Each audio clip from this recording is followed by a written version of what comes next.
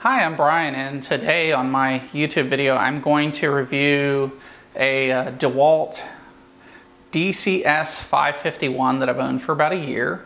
This is DeWalt's answer to a tool made by Rotozip that's commonly called a Rotozip and it's really just a spiral cutoff tool. And uh, Rotozip may have been one of the first ones to popularize it, but this is an excellent, excellent tool. Um, among other things, it's cordless. So I'll talk about the features of that in here in just a second. And I'm also uh,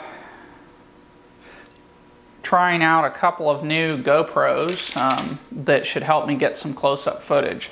So I'm gonna clamp this in here. I have some adjustable clamp mounts that I got on Amazon. So uh, at any rate, the uh, DCS, DCS uh, 551 is part of their Max XR series of lithium ion battery powered tools. This will give you about an hour to two hours of cutting time. It recharges in about 30 to 45 minutes on the charger. Um, I've been running them for a year with no problems. Great system it has been dropped, abused. Um, I'm finishing up 6,500 square feet of sheetrock that's been done with this. All of my outlets have been cut with it. Um, so one of the features that I really like is it comes with a nose guard and the nose guard literally just slips in on and off and, and it can be height adjusted. So uh, you can see here that it just slips in and slips out just very, very easy. It also has a push button that you can use to grab the collet and turn. So when you want to load a bit and it takes standard Rotozip 1 8 inch bits, oh, looks like I've got a bit in here. So I'm going to push the uh, shaft lock and then I'm going to unlock the collet so what I'm doing is pushing this button and then turning. And then I'll just remove the old bit. Put the new bit in. And then again, I'll lock the, the shaft and grab the collet lock. It's basically a built-in wrench. And it, sometimes when you push it, it'll stay engaged, but other times you just have to push it every time you grab the collet.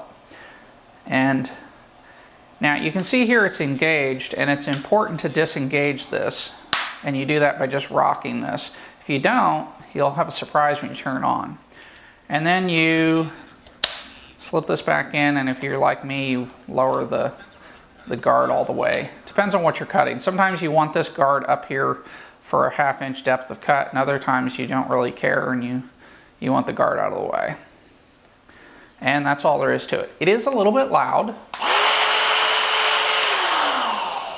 But it does feature a light and as long as you hold it in the appropriate position, DeWalt's engineers have figured out how to use the exhaust from the motor to blow the dust away from you. Now if you hold it in the wrong position, it'll give you a face full of dust.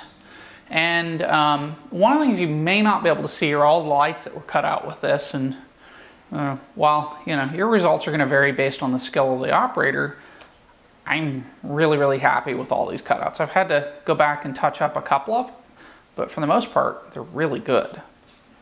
Um, highly recommend the tool, and uh, unfortunately, I don't have anything uh, that's easy to show uh, this in action with. I actually only needed to put a bit in it to do one little touch up um, for a panel that I uh, that's upstairs in a bathroom, and uh, I just am not going to film in the bathroom. So, at any rate uh, Thanks for watching my video, and if you have any questions, please leave a, leave a comment.